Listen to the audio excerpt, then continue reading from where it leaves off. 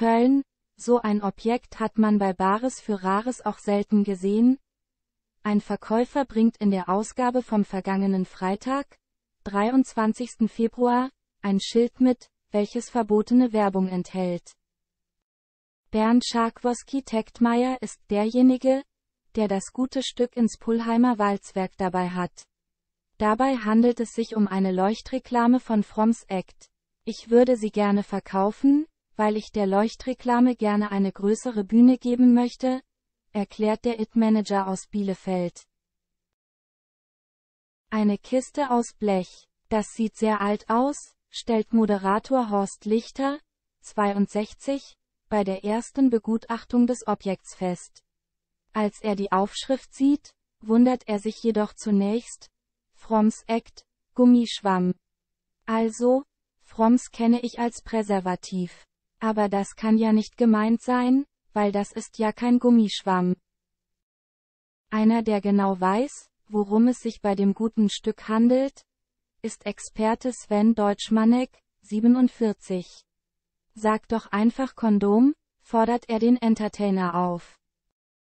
Doch der 62-Jährige bleibt bei seiner Ausdrucksweise, das hört sich aber feiner an. Ich würde auch nie Pariser sagen.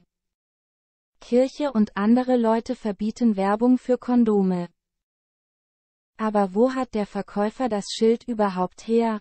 Ende der 1990er Jahre habe ich mit zwei Freunden zusammen und deren Vater einen Dachboden ausgeräumt. Und da waren mehrere Leuchtreklamen dabei, gibt Bernd Preis. Doch was hat Fromm mit Gummischwämmen zu tun?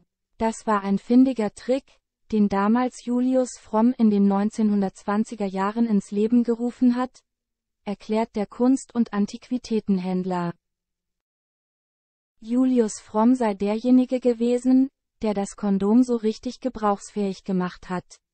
1910 habe er dann Fromms Act, das erste richtige Markenkondom, ins Leben gerufen. Das war der Kirche und anderen Leuten jedoch zu unzüchtig, und dann wurde diese Werbung verboten.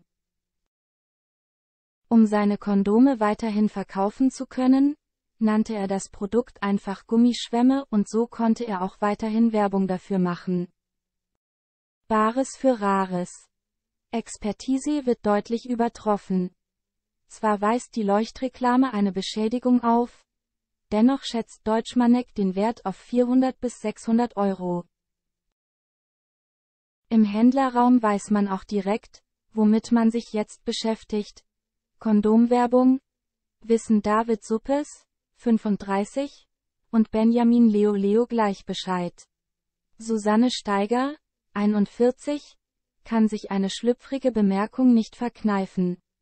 Also kein frommer Akt.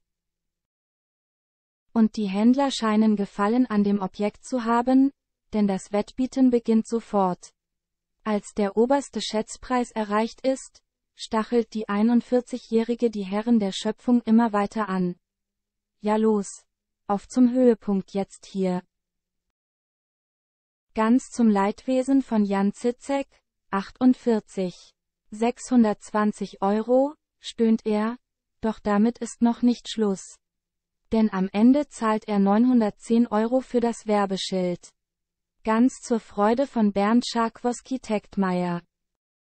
Bares für Rares läuft von montags bis freitags ab 15.05 Uhr im ZDF oder vorab bereits in der Mediathek.